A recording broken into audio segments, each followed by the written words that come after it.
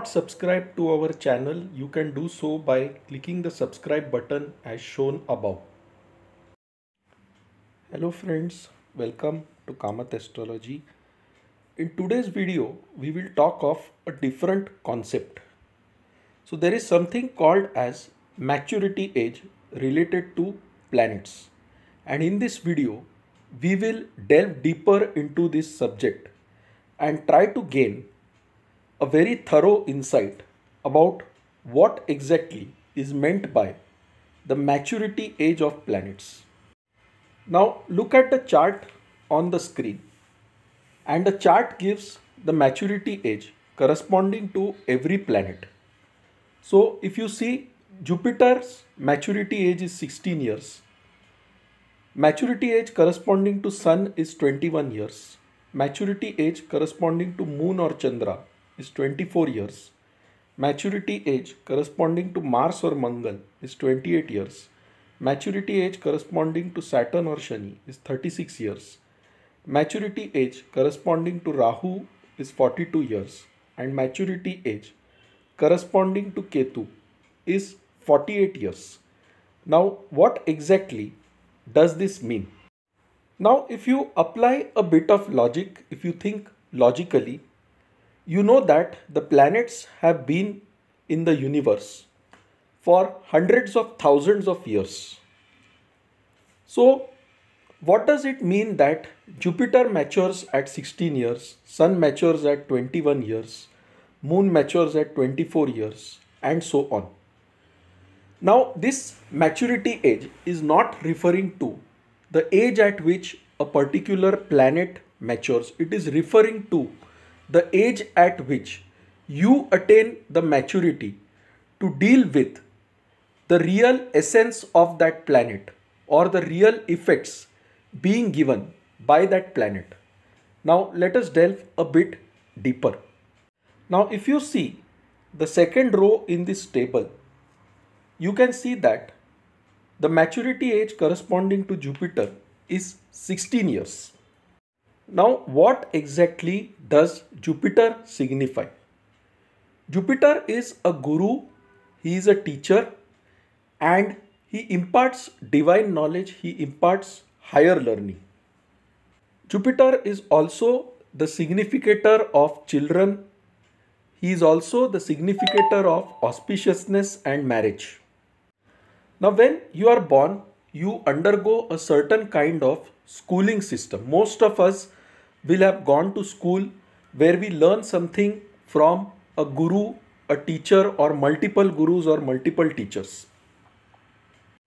And then around the age of 16 comes the time when you have to use this knowledge to select a particular stream which will decide your future course of action or your future career direction. For example, in the Indian system, at around the age of 16 to 17 years, that is the time when you have to appear for the board exams and you have to decide whether you want to go for science, commerce, or arts or some other streams.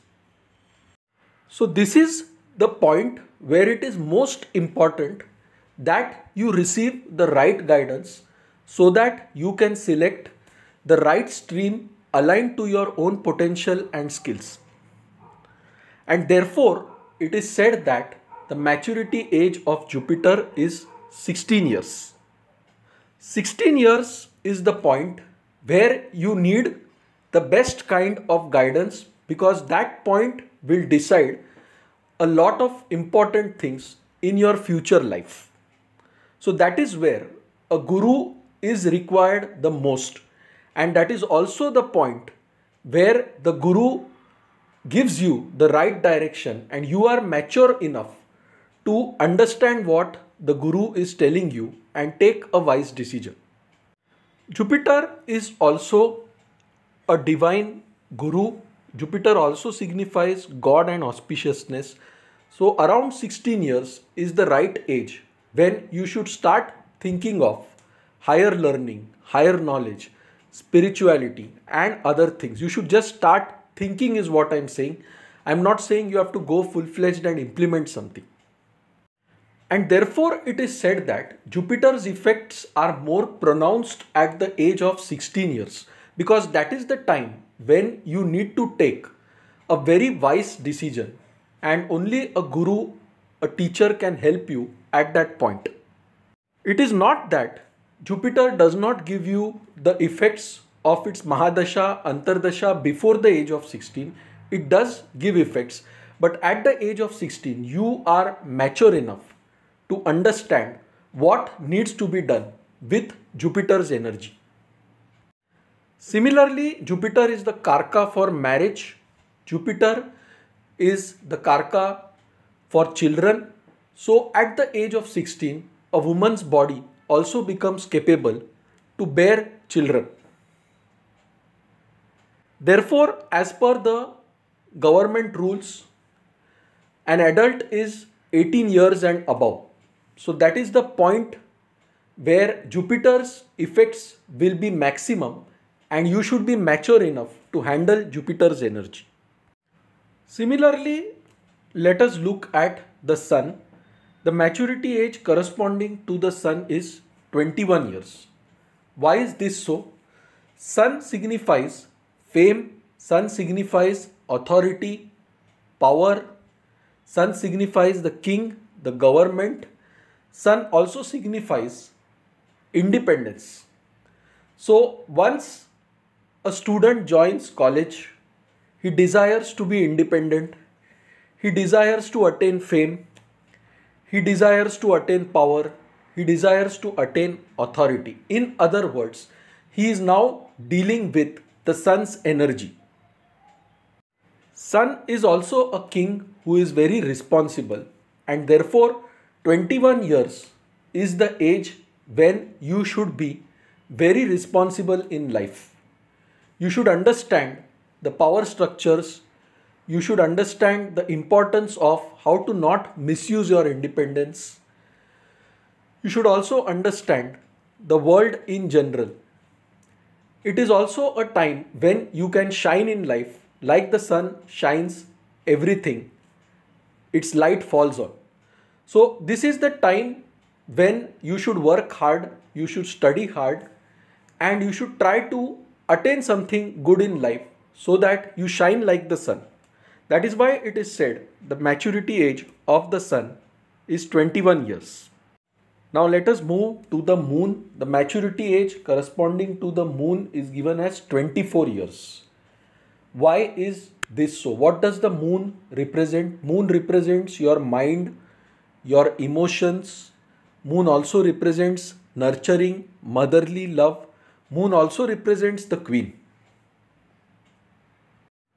So, what this means is at the age of 24, you should have a mature mindset to take the right decisions and progress further in life. You should have the right balance of emotions and practicality and you should also have a caring and nurturing nature.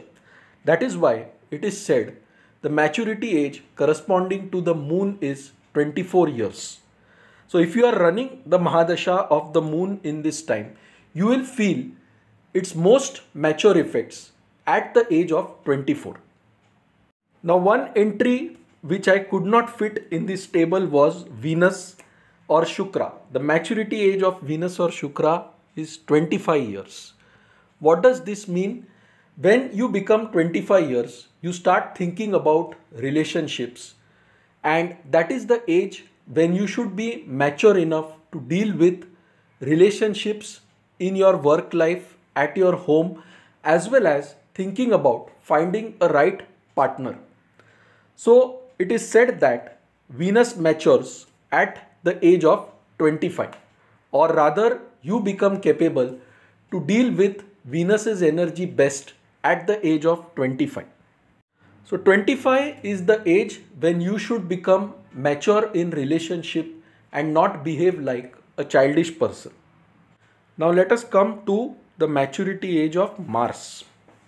So maturity age corresponding to Mars is 28 years. Now what does Mars actually represent? Mars represents the actions you take Mars represents your drive, your aggression, your power, your anger. And therefore, at the age of 28, you should be mature enough to use your power in a right way and also to control your anger and not randomly get angry at anybody. So 28 years is considered the age when you are mature enough to deal with your own power, your own anger, and your own authority. Now, after Mars, the next planet to be considered is Mercury, again not present in this table, but the maturity age corresponding to Mercury is given as 32 years. Why is this so? Mercury represents communication, Mercury represents logical skills, analytical ability, marketing ability, business skills. So at the age of 32, you should be mature enough to decide what you want to do in life, what kind of business you want to do in life, what kind of skills you have acquired which will help you in your career, in your business. Mercury is also your skills and hobbies and this is the right age when you can be an entrepreneur or a person working for a company or some other kind of work based on your skills and knowledge. So this is considered the age at which you are best equipped to deal with Mercury's effects.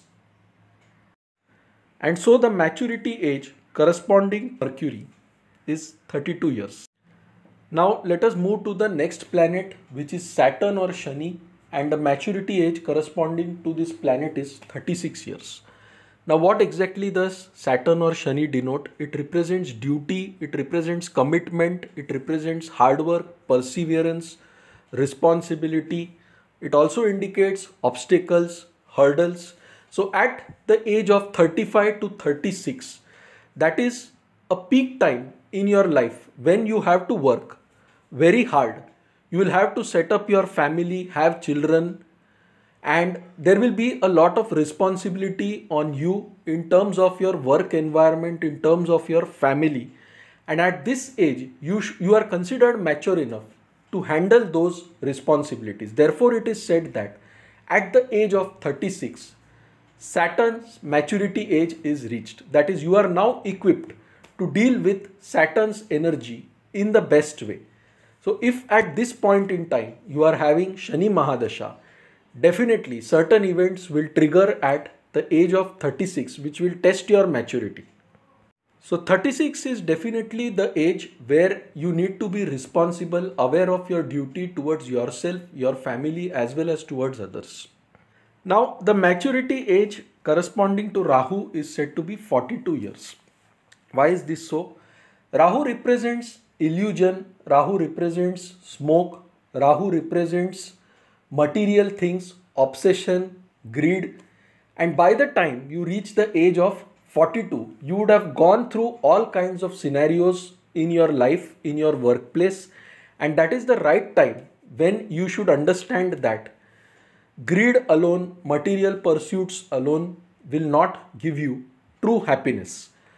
And that is the time when Rahu matures, or rather, you get a better understanding of the way Rahu's energy works and deludes you.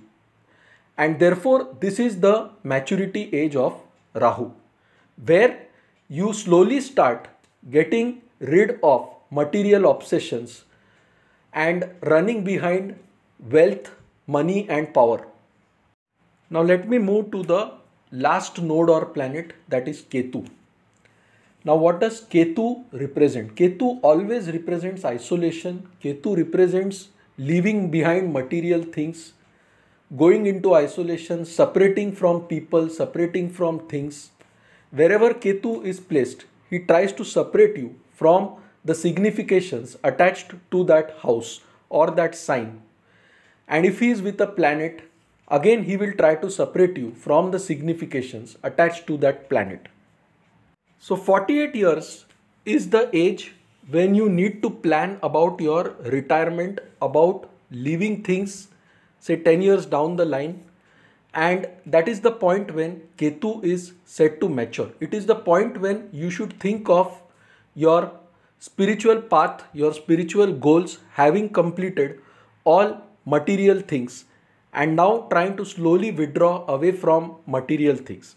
So it is said that Ketu matures at the age of 48 years, that is, at the age of 48 years, that is when you should truly utilize Ketu's energy to decide on your spiritual path and to decide on how you want to manage your retired life, your spiritual progress.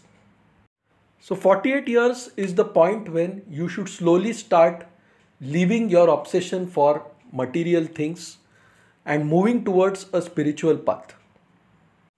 So friends, that's all from my end. If you like this video, please mark it as liked on YouTube. To know more about us, visit our website astroseva.tripod.com. For any queries, write to us at astrosevaworld at yahoo.com.